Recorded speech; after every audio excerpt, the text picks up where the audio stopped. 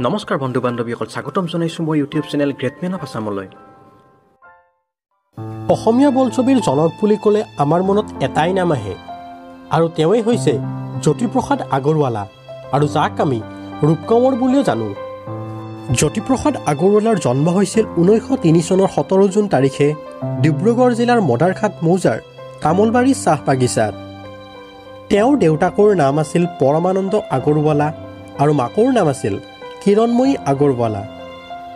তেখেতৰ পত্নীৰ নাম আছিল দেৱযানী ভূঞা আৰু তেওঁৰ সন্তানৰ নামবোৰ আছিল ক্ৰমে চিন্ময় আগৰৱালা বিশ্বেন্দু আগৰৱালা জয়শ্ৰী আগৰৱালা জ্ঞানশ্ৰী আগৰৱালা সত্যশ্ৰী আগৰৱালা হেমাশ্ৰী আগৰৱালা আৰু মনশ্ৰী আগৰৱালা।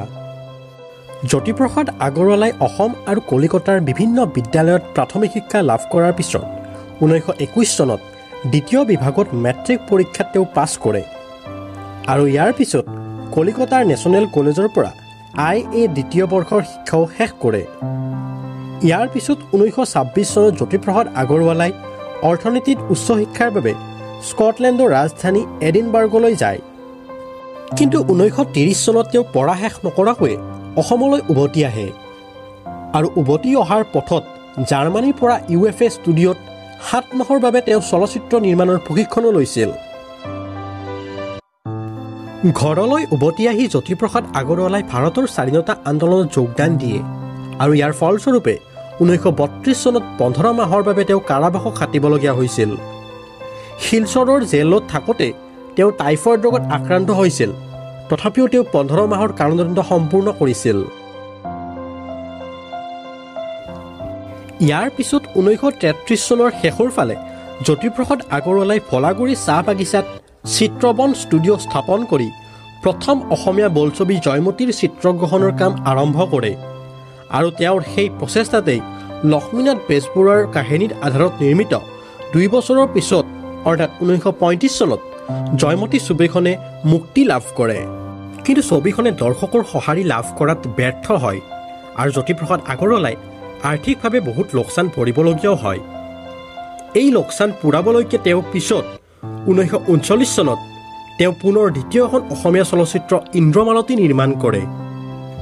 গতিকে আমি ক'ব পাৰোঁ যে জ্যোতিপ্ৰসাদ আগৰৱালাৰ একক প্ৰচেষ্টাতেই প্ৰথম আৰু দ্বিতীয়খন অসমীয়া ছবি নিৰ্মাণ হৈছিল আৰু সেইবাবেই তেখেতকে অসমীয়া চলচ্চিত্ৰৰ জনক বুলি অভিহিত কৰা হয়। চলচ্চিত্ৰৰ উপৰিও অসমীয়া ভাষা সাহিত্যৰ কবিতা গীত নাটক প্ৰবন্ধ শিশু সাহিত্য আদি সকলো দিশতে তেওঁৰ উল্লেখযোগ্য অৱদান আছে। জ্যোতিপ্ৰসাদ আগৰৱালাই ৰচনা কৰা কল্প কেইটামান হ'ল ৰূপহী বগীতৰা সোণতৰা সন্তীৰ অভিমান যুঁজাৰু সন্ধ্যা সতীৰ সোঁৱৰণী শিলাকুটি নীলাচৰাই ইত্যাদি। তেখেতে ৰচনা কৰা কবিতা হ'ল লুইতৰ পাৰৰ অগ্নিসুৰ আৰু জ্যোতি ৰামায়ণ। জ্যোতিপ্ৰসাদ আগৰৱালে ৰচনা কৰা একমাত্ৰ উপন্যাসখন হ'ল আমাৰ গাঁও আৰু তেওঁৰ অন্যান্য গ্ৰন্থবোৰ হ'ল ক্ৰমে Jyotidhara Chandrakumar Agarwala background of Assamese architecture ইয়াৰো উপৰিও তেওঁ বহুকেইটা শিশু উপযোগী কবিতা লিখি থৈ গৈছে। তাৰে ভিতৰত এটা উল্লেখযোগ্য কবিতা হ'ল কম্পুৰ সপোন।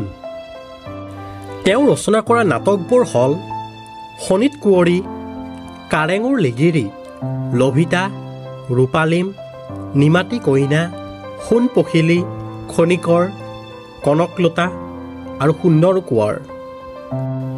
এই সকলোবোৰ ৰচনাৱলীৰ উপৰিও জ্যোতিপ্ৰসাদ আগৰৱালাই প্ৰায় তিনিশটামান গীত ৰচনা কৰিছিল আৰু এই গীতবোৰৰ সুৰো তেওঁ নিজেই দিছিল আৰু সেইবোৰ গীতকে জ্যোতি সংগীত বুলিও কোৱা হয়। অসমীয়া সাহিত্য আৰু বোলছবি জগতলৈ আগবঢ়োৱা অৱদানৰ বাবে দুই হাজাৰ চাৰি চনৰ সোতৰ জুন তাৰিখে ভাৰত চৰকাৰে জ্যোতিপ্ৰসাদ আগৰৱালাৰ প্ৰতি সন্মান জনাই তেওঁৰ এটা স্মৃতি ৰক্ষামূলক ডাক টিকট মুকলি কৰে আৰু এই ডাক টিকটটোৰ মূল্য আছিল পাঁচ টকা। ৰূপকমৰ নামেৰে পৰিচিত এইজন মহান ব্যক্তিৰ ঊনৈছশ একাৱন্ন চনৰ সোতৰ জানুৱাৰী তাৰিখে তেজপুৰত কৰ্কট ৰোগত আক্ৰান্ত হৈ মাত্ৰ আঠচল্লিছ বছৰ বয়সতে ইহলীলা সম্বৰণ কৰে। অসমীয়া কলা সংস্কৃতি তথা বোলছবি জগতত জ্যোতিপ্ৰসাদ আগৰৱালাৰ ইমানেই অৱদান আছিল যাৰ বাবে আমি প্ৰত্যেকজন অসমীয়াই তেওঁক সদায় মনত ৰখা উচিত। আৰু সেইবাবে তেওঁৰ মৃত্যু দিনটোক অৰ্থাৎ সোতৰ জানুৱাৰী তাৰিখে সমগ্ৰ অসমতে শিল্পী দিৱস উদযাপন কৰা হয়।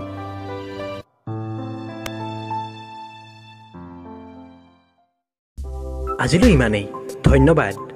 যদি ভিডিঅ'টো ভাল পালে লাইক কৰিব শ্বেয়াৰ কৰিব কমেণ্ট কৰিব আৰু যদি এনেকুৱা ধৰণৰ ভিডিঅ' আপুনি চাই থাকিব বিচাৰে তেনে মোৰ চেনেলটো ছাবস্ক্ৰাইব কৰি ল'ব। ধন্যবাদ।